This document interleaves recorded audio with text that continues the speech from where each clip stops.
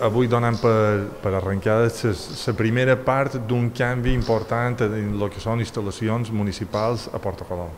És a dir, han transformat l'espai de l'antiga biblioteca en, en noves instal·lacions per serveis socials, eh, confirmat que l'espai que ha quedat és funcional, és visual, és obert i esperem que els, els, els usuaris eh, disfrutin i vegin aquell canvi per la ciutadania com una intenció de que els diferents departaments de l'Ajuntament de Falanich creixin, se millorin, s'actualitzin, s'optimitzin els espais perquè creiem que eh, som aquí perquè mm, volem que la part de baix eh, acabi sent el centre de salut de Porta Colom.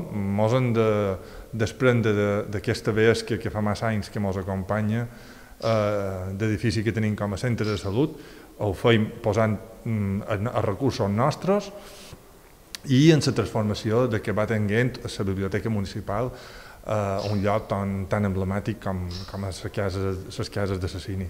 Per tant, som un primer punt, eh, donar l'enhorabona en, en els tècnics i en el departament per la gestió i com els ha quedat organitzat aquest espai perquè verdaderament eh, és de mirar.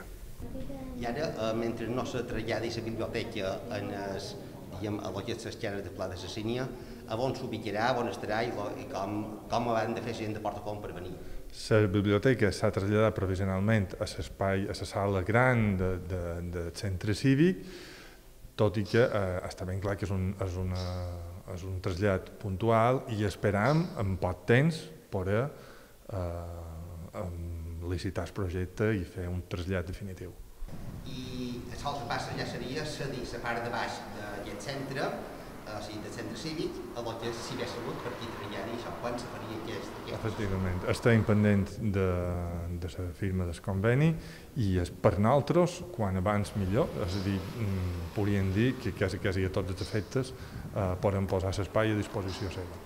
Colom de cada vegada augmenta més de població, però li donem els serveis que consideram que eh, són necessaris. Tenim un orientador, tenim treballadors familiars que venen, tenim educadors i per tant eh, tenim treballadors socials i per tant tenim la necessitat de les persones que venen directament i estan ubicades sempre aquí. Per tant, quan hi ha un cas de Porta Colom, tot i que el coordinador de totes les àrees de servei social coordina totes les àrees, aquesta gent ja té la seva seu aquí. I quin horari estan? Quin, quin horari té obert aquí a Porta Colom? Té el mateix horari que pugui tenir a Falanich i té de matins i també hi ha l'educador que fa feina en grups, en nens i nines a zero baixes. Aquest, aquest canvi d'ubicació i ha quedat un espai funcional per molts anys?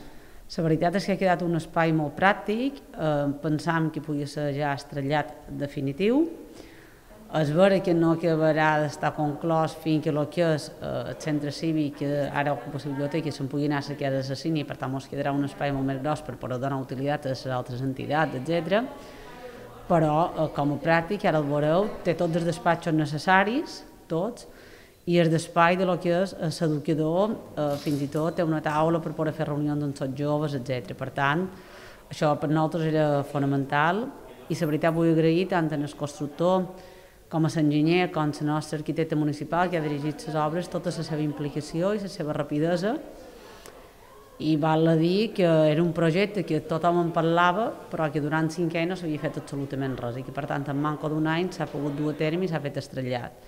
I com bé ha dit es val tot d'una que tinguem el conveni, que l'estem redactant ara nosaltres per remetre a Salut, cedirem l'espai de baix a Salut i tot d'una que tinguem cedit, Salut podrà iniciar les seves obres i per tant eh, traslladaria els metges. El tema de serveis socials, arran de la pandèmia, quantes peticions heu tingut de gent que hagi sol·licitat ajuda de serveis socials s'han incrementat i preveix que s'incrementin al llarg d'aquests mesos?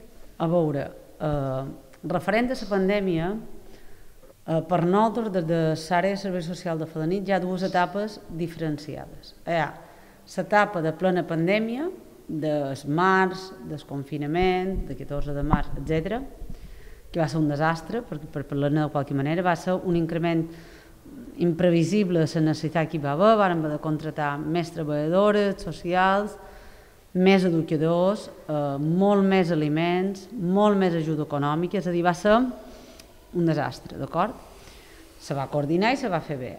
Eh, S'ha estabilitzat aquest tema, tot i tenir el virus en nosaltres, eh, sembla ser que la pandèmia com a tal eh, ja està remetient, i per part de serveis socials s'ha estabilitzat molt.